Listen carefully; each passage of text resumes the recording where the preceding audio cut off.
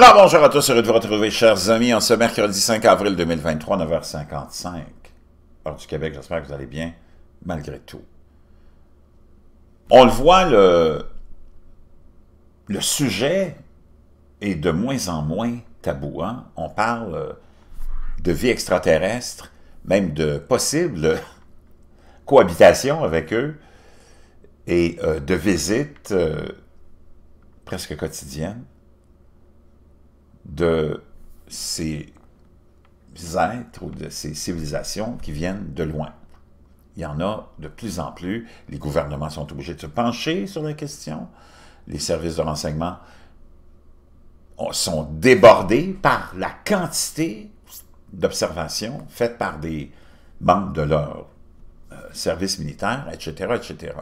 Donc, on le voit, c'est devenu euh, un sujet tu aurais juste à reculer 20 ans dans le temps, même pas 10 ans, puis jamais tu aurais pu imaginer que ça devienne aussi ouvertement discuté par les scientifiques, par les politiciens, par les services de renseignement, et etc., etc.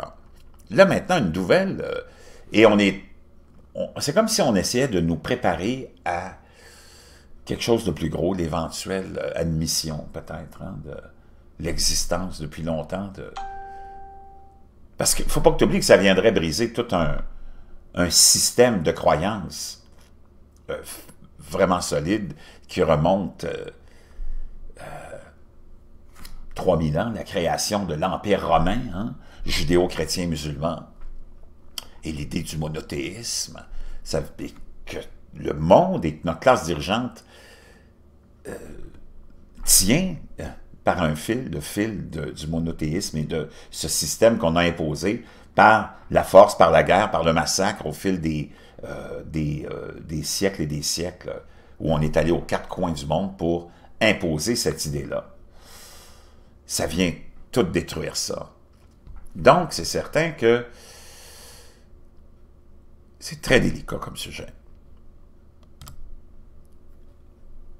On apprenait hier c'était publié hier, qu'il y a un signal radio répété qui a été euh, euh, détecté et qui conduit les astronomes vers une exoplanète de la taille de la Terre et qui c'est vraiment pas si loin en plus. Hein? Imagine déjà comment on nous prépare aussi hein, à d'autres choses.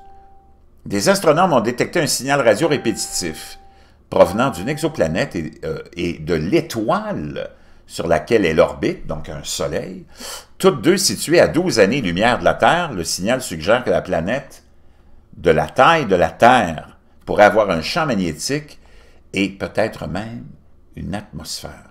Le champ magnétique terrestre protège l'atmosphère de la planète dont la vie a besoin pour survivre, en déviant les particules énergétiques et le plasma qui s'échappe du Soleil aussi. Trouver des atmosphères autour de planètes situées en dehors de notre système solaire pourrait indiquer d'autres mondes qui ont potentiellement la capacité de soutenir la vie. Donc, les scientifiques ont remarqué de fortes ondes radio provenant de l'étoile YZ Ceti et de l'exoplanète rocheuse qui l'orbite appelée YZ Ceti B lors d'observations à l'aide du Carl G. Euh, Jansky Very Large Area télescope au Nouveau-Mexique.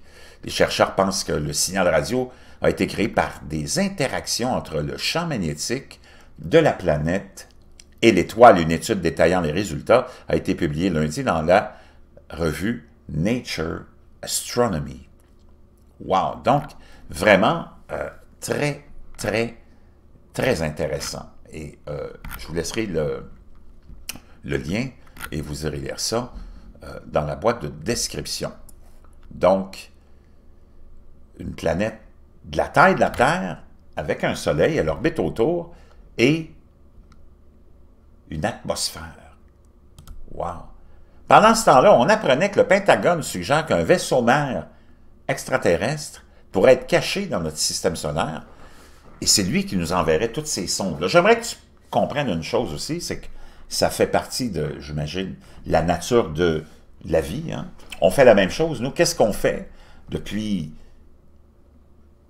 des décennies, depuis qu'on a trouvé ou qu'on a eu en cadeau la technologie pour le faire, qu'est-ce qu'on fait? On envoie des sondes partout. Hein? Dans l'univers, dans notre système solaire, on envoie des sondes pour aller étudier ou voir ce qui se passe. On envoie des signaux aussi continuellement. On envoie même des signaux dans lesquels on donne notre localisation exactement hein, sur la Terre.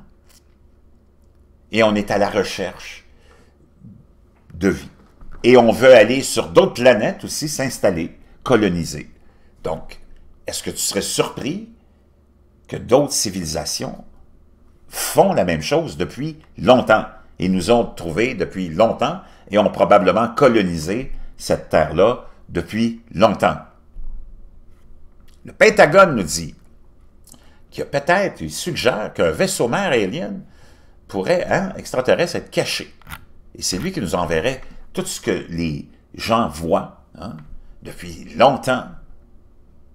Donc, vois-tu, on en est rendu avec le Pentagone qui ferme pas la possibilité, la porte à une possibilité comme celle-là. Les phénomènes devenus euh, et les phénomènes aérospatiaux non identifiés seraient-ils en fait des sondes envoyées sur Terre par un vaisseau mère extraterrestre caché dans notre système solaire? C'est en tout cas ce que certains responsables du Pentagone semblent suggérer suite à une, suite à une étude de l'université de Harvard. Donc, vraiment, vraiment euh, fascinant. Je vous laisserai ça dans la boîte de description. Euh, mais en même temps, c'est rien de surprenant. Quand tu as un esprit ouvert et euh, tu vois l'immensité de tout ce qu'on a au-dessus de la tête, il faut vraiment être imbu de soi-même pour penser qu'on serait les seuls, mais qui a intérêt à faire penser que tu es les seuls? C'est les dirigeants, les fondateurs de cet empire robin judéo-chrétien musulman, qui contrôlent tout le monde, encore aujourd'hui, encore plus puissamment, parce que ça fait 3000 ans qu'on vole tous les biens de la Terre, hein, cette élite-là, puis qu'on contrôle toutes les populations, c'est sûrement pas dans leur intérêt de changer quoi que ce soit. Je vous reviens.